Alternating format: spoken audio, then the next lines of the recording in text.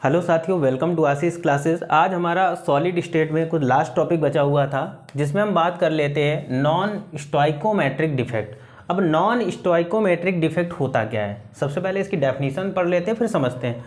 In this defect the cation anion ratio is disturb either because of adding or removing ions देखो non stoichiometric हमारा defect क्या होता है कि जब किसी एटम में क्या होता है या जब किसी सॉलिड में क्या होता है कैटायन या एनायन ठीक है?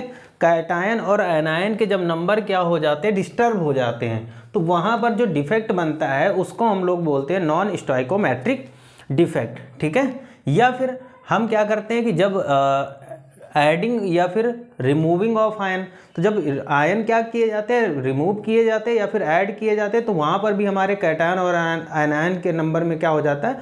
थोड़ा सा डिस्टर्बेंस आ जाता है। तो जब डिस्टर्ब हो जाते हैं ये आयन हमारे तो वहाँ पर नॉन स्टोइकोमेट्रिक डिफेक्ट बनता है, ठीक है?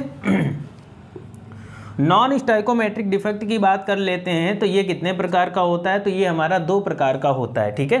टू टाइप्स का होता है। फ़र्स्ट टाइप क्या है? Metal deficiency defect. Metal deficiency defect का मतलब होता है in this solid have less number of less number of metal relative to the disturb stoichiometric propagation देखो, यहाँ पर मेटल डिफिशियंसी डिफेक्ट का मतलब क्या होता है कि कोई ऐसा सॉलिड जहाँ पर क्या होता है कि मेटल्स हमारा कम हो। मतलब हमारे पास अगर ये सॉलिड है यहाँ पर अगर मान लेते हैं कि मेटल इतना है, बाकी अदर चीज़ें हैं, ठीक है? एक सॉलिड में मेटल की जहाँ पर क्वांटिटी कम होगी तो वहाँ पर क्या होगा? मेटल डिफिशियंसी डिफेक्ट बनेगा, ठीक है?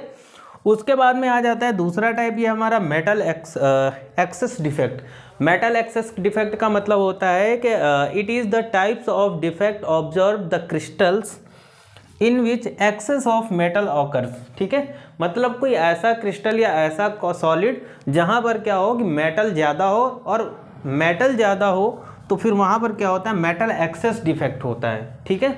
तो स्टोइकोमेट्रिक नॉन स्टोइकोमेट्रिक का मतलब होता है जब हमारे कैटायन और आयनायन क्या हो? नॉन स्टोमेट्रिक में कैटायन और आयनायन के नंबर डिस्टर्ब हो जाएँ। या तो कैटायन ज़्यादा हो जाएँगे आयनायन कम हो जाएँगे, या फिर आयनायन कम हो जाएँगे कैटायन ज़्यादा हो जाएँगे। मतलब क्या होगा, जो नंबर होगा कैटायन और एनान का, वो जब जहाँ पर क्या हो, ऐसे सॉलिड में जहाँ पर डिस्टर्ब हो जाए, वो हमारा होता है नॉन स्टोइकोमेट्रिक डिफेक्ट और ये दो प्रकार के होते हैं। एक होता है हमारा मेटल डिफिशियंसी डिफेक्ट मतलब जहाँ पर मेटल की क्वांटिटी क्या हो, ज़्यादा हो और कम हो सॉरी मेटल डिफिशियंसी डिफेक्ट मतलब जहाँ पर कोई सॉलिड हो लेकिन उसमें मेटल की क्वांटिटी कम हो, ठीक है? तो वहाँ पर मेटल डिफिशियंसी डिफेक्ट आ जाएगा और अगर मेटल एक्सेस डिफेक्ट मतलब ऐसा सॉलिड, जहाँ पर क्या हो कि मेटल ज़्यादा हो, ठीक है?